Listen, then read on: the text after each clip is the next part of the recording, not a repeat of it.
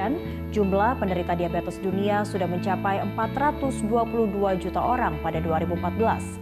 Jadi awalnya itu ada kerabat saya yang mengidap penyakit diabetes mellitus. Dalam penanganannya, dia perlu tes CRP terlebih dahulu untuk pendeteksian adanya komplikasi kronis. Tapi biayanya itu cukup mahal bagi dia dan dia pun juga takut jarum suntik. Sehingga kami ingin membuat alternatif peradangan sehingga dapat dilakukan oleh siapa pun dan di mana pun. Uh, untuk masalah kesehatan sendiri, saya memang sangat malas karena butuh pengambilan darah. Dan saya itu sangat trauma akan penyuntikan.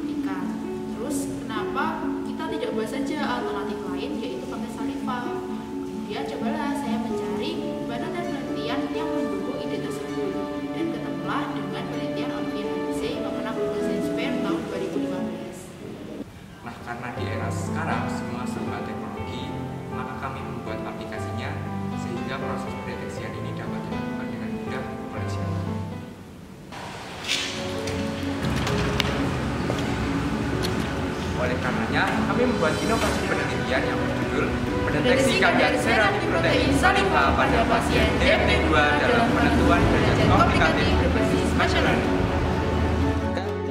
Pembuatan selfibroin diawali dengan deguming, kelompok steril digunting menjadi potongan kecil sebanyak 2,5 gram, kemudian dimasukkan ke dalam panci stainless steel.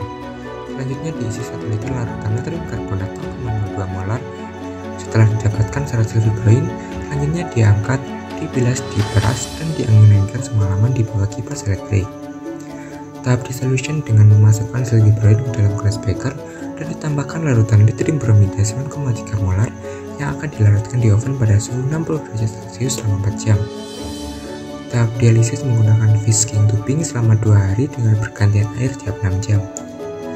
Selanjutnya larutan yang telah dialisis kemudian disentrifugasi selama 45 menit sebanyak dua kali pada 4000 rpm.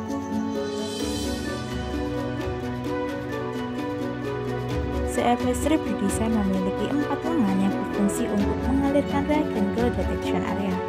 Kemudian, masing-masing lengan memiliki low spot tersendiri, di mana low spot 2-5 ditambahkan safety point, guna mengikat reagen dan menstabilkan suhu. Spot 1 diteteskan sampel, spot 2 diteteskan antibodi sekunder IgG-HRP, low spot 3 diteteskan TMB substrat, dan semuanya akan bereaksi pada detection area, serta dihentikan oleh stop solution pada low spot 4, sehingga terjadi perubahan warna. Jika semakin pekat warnanya, maka semakin tinggi kadar CRP sampel.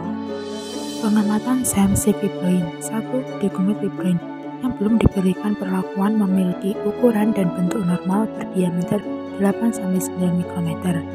2. Fibroin yang sudah diberikan perlakuan berbentuk bulat atau tidak beraturan seperti pada poin B sampai E. Pada saliva terdapat glikoprotein yang disebut asam sialat yang digunakan sebagai biomarker komplikasi diabetes, di mana pada grafik ditunjukkan bahwa rasio kadar asam sialat antara DM banding non-DM adalah 1 banding 4. Berdasarkan penelitian Rizal, menyatakan bahwa terjadinya peningkatan kadar CRP pada penderita DM tipe 2 disebabkan oleh respon inflamasi yang timbul akibat komplikasi dari DM. Berikut adalah prototipe aplikasi kami. Tampilan awal adalah sign in dan login. Setelah itu pengguna diarahkan ke menu utama yang memiliki beberapa fitur, yakni scan, profil, tahu lebih, dan riwayat medis. Fitur pertama adalah scan CRP strip, di mana ditunjukkan bahwa kadar CRP pasien tinggi atau normal, dengan disertai penjelasan dan langkah yang harus dilakukan pasien. Fitur berikutnya adalah riwayat medis. Pengguna bisa mengecek kembali hasil CRP sebelumnya. Fitur tahu lebih adalah penjelasan mengenai DM. Terakhir, fitur tentang kami adalah profil peneliti dan proyek penelitian. Penelitian ini kami yakini sangat bermanfaat bagi masyarakat dan akan terus berkembang di masa yang akan datang. Kami juga akan